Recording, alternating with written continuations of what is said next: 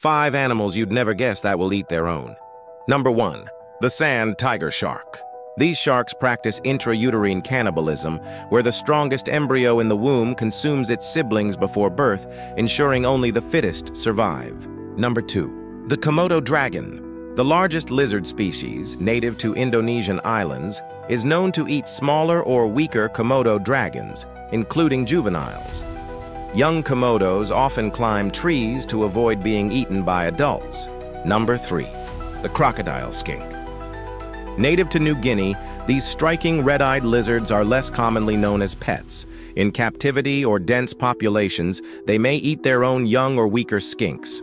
Number 4. The axolotl. These unique amphibians from Mexico, often kept as exotic pets, can be cannibalistic, especially in their larval stage.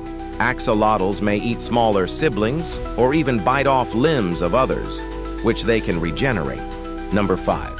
The Matamata turtle. This bizarre-looking South American freshwater turtle has been observed eating smaller turtles, including its own species, in the wild.